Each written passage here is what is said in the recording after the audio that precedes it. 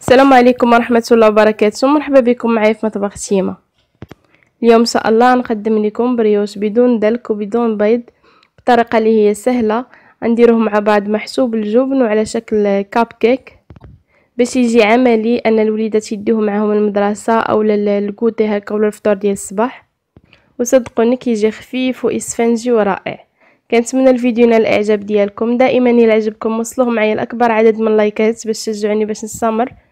وتقاسموه مع معارفكم وأصدقائكم. خليكم مع المقادير وطريقة التحضير فرجة ممتعة. غادي نبدأو بطريقة التحضير وبالنسبة للمقادير فغادي نخليها لكم مضبوطة في صندوق الوصف.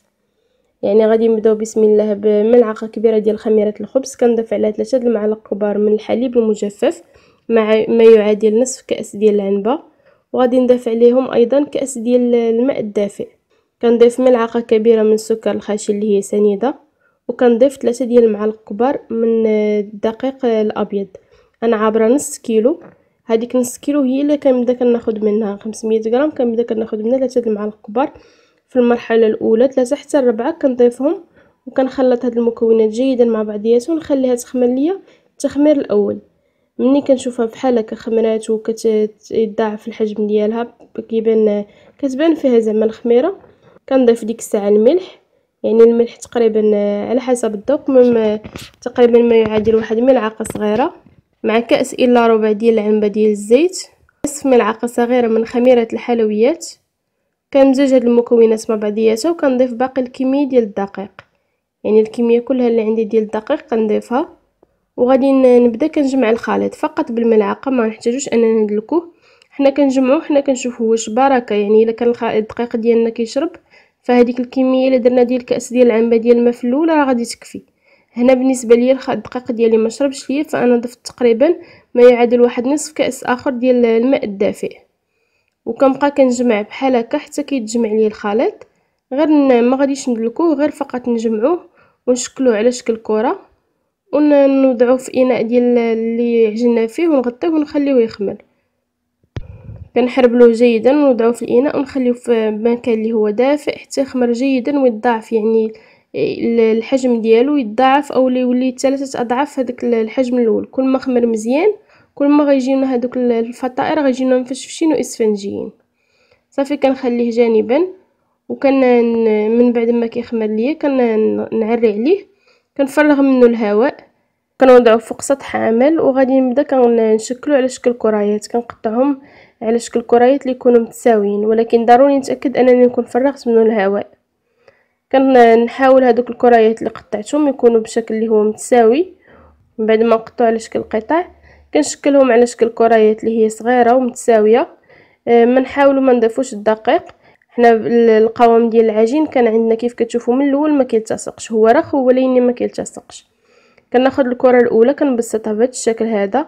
بالاستعانه بالدلاك وكناخذ شي جراره اللي تكون مسنة أو القطعه ديال البيتزا. وكنقطع هذاك الجانب المقابل ليا.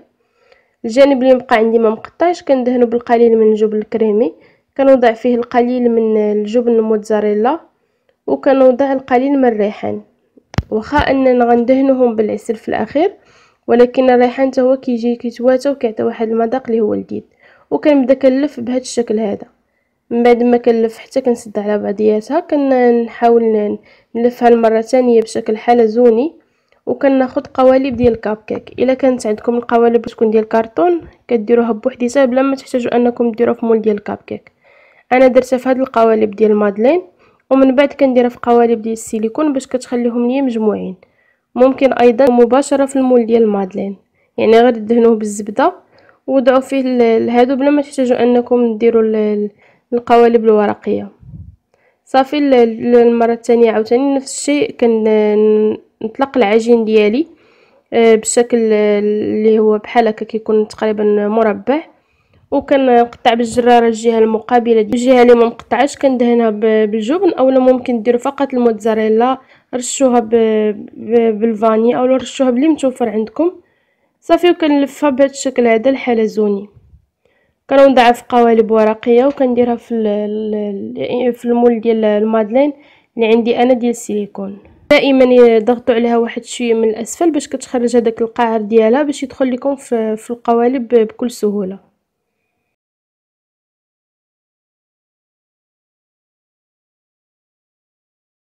صافي من بعد ما كملت الكمية ديالي كلها كنحاول ندهنها بواحد البيضة مخلطة مع شوية ديال الحليب. جيدا حتى ندهنهم كاملين. من بعد ما كندهنهم كنرشهم بالسمسم وكندخلهم الفرن اللي يكون عندي مسخن على 180 درجة. الفرن كتسخنوه في الأول. بالنسبة لهاد الفطائر ما كنخمروهمش لأنهم ملي غيدخلوا الفرن غيزيدوا يضاعف الحجم ديالهم. فلا خمرناهم هذاك الشكل كيزيد يخمر بزاف ويقدروا يطرطقوا لكم في الفران. فكنرشوهم فقط بالسمسم وكندخلهم مباشرة للفرن. نتوما أصلا ملي كتكونوا كتخدموا هذوك الوالك كيبان لي كتبان لكم انها بانت فيهم الخميرة أكثر من من الأخرانيين. صافي من بعد ما كندخلهم الفرن كنخرجوهم كندهنوهم بالعسل اولا ممكن تسقيوهم بالعسل يعني اللي بغاهم حلوين بزاف فسقيوهم بالعسل وهما سخان.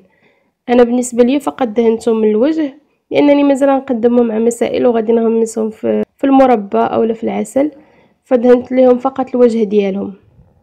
مي التقديم كيبقى على حسب الذوق واش نتوما بغيتوهم حلوين بزاف اولا بغيتوهم بحال هكا يكونوا حلاوتهم على قدهم. تقوني كيجيو هائلين كيجيو مفشفشين وكيجيو قطنيين والمنظر ديالهم كيجي جميل وكيشجع الوليدات أنهم ياكلوهم. وأيضا كاقتراح يعني اللي ما بغاش يديرهم بحال هكا يدهنهم بالعسل.